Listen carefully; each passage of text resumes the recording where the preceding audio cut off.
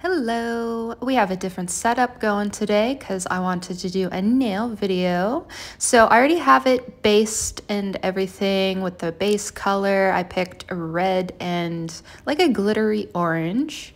So I'm just going to do like a decorative uh, design on it, so I wanted to film it. So I'm to start with the rhinestone glue, and I wanted to do like flames that I did previously on my own nails.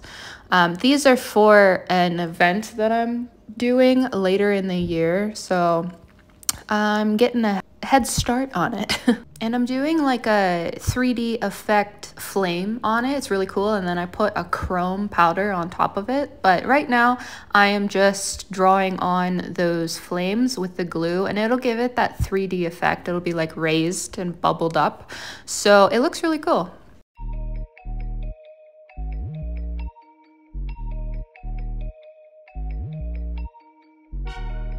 So this is the final result. You can't really see it too well because it's clear, but it looks pretty cool in my opinion. So you're going to cure it. I do it for about 60 seconds just to make sure the glue is cured all the way through. And I'm just going to start on the next nail.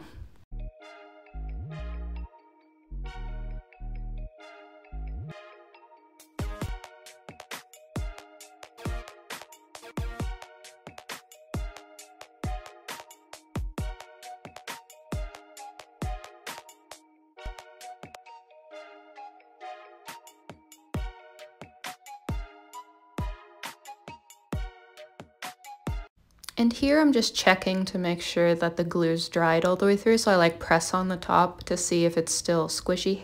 So if it's hard, it's cured all the way through, but you still want it to be tacky because you want the chrome to be able to stick to something. And um, if you cure it for too long, it will completely be not tacky anymore. And uh, that you don't want that.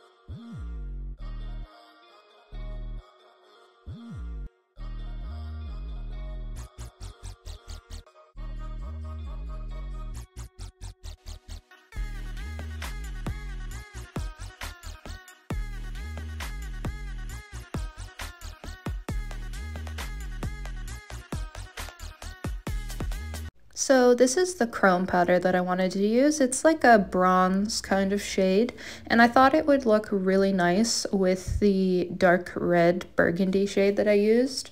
Um, and also the orange glitter, I thought it would pair up pretty well with it because it's kind of like the glitter is kind of like a uh, amber color. That uh, eyeshadow applicator I use to rub on the chrome powder onto the nail and I'm just rubbing it onto that glue parts to create that flame effect.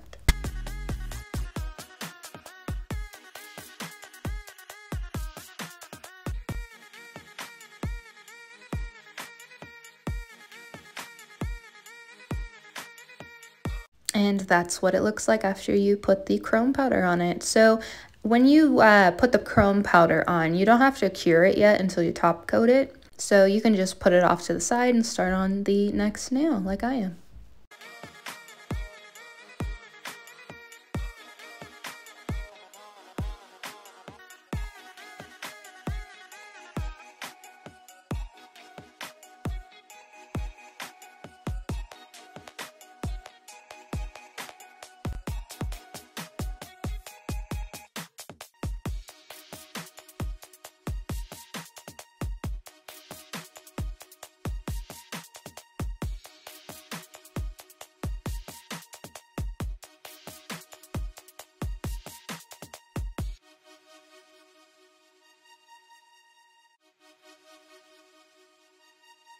I also think this flame effect looks really cool with like an really pointy almond or stiletto shaped nail. It just really fits with the shape of the nail. It looks really, really nice. and go figure, I always like going for these kind of grungy, uh, alternative, fashiony kind of things, even outside of makeup. so now I'm just brushing away the extra chrome powder that is on the nail because it kind of um, gets a, little bit like dusty on the nail. So you can just brush it off with a clean brush.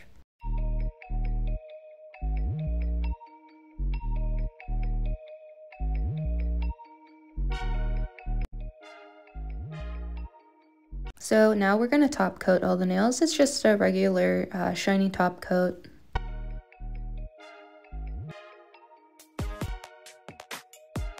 So when you're top coating um, nails that have chrome on it, the chrome powder is going to get onto the bristles of the brush. So it's always best practice to wipe off the brush before you dunk back into the bottle or your whole top coat is going to become chrome and it's going to ruin uh, future applications.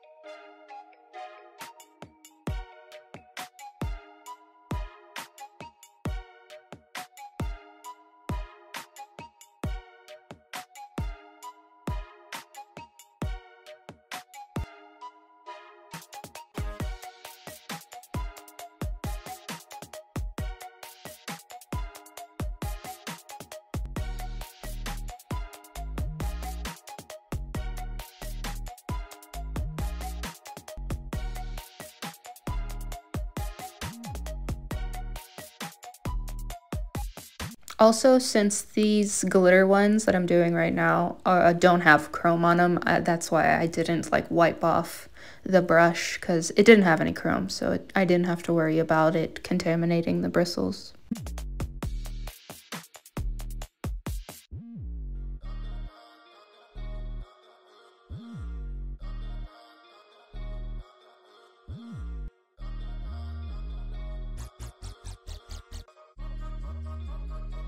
And once you have everything top coated, I just cure it for 60 seconds.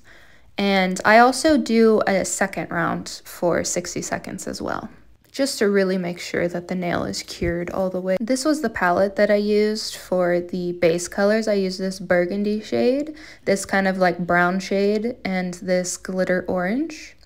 I used the glitter orange over top of that like brownish red shade. And you always have to make sure you use a base coat before you put on the gel or the gel will just peel off all the way. And I was just hitting the button for the second round. And now we're done with the top coat. Looking cool, looking cool. I really like this flame design. I'm pretty uh, impressed with myself and that's just a different view for you. So if you like my videos, do like and subscribe and I hope you have a great day.